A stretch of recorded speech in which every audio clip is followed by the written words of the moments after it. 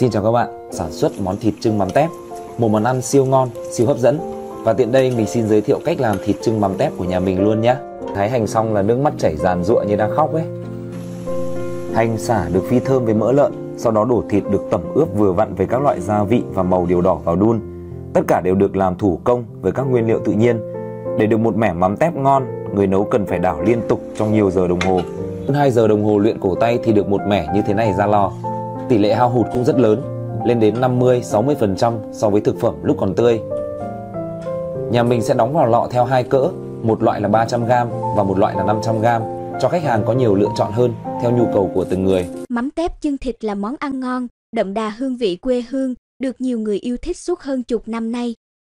Các bác hãy mua sản phẩm mắm tép về dùng thử đảm bảo là ăn tốn nhiều cơm. Hãy nhấn nút mua hàng ngay bên dưới màn hình hoặc link mua hàng mình để dưới phần mô tả hoặc bình luận.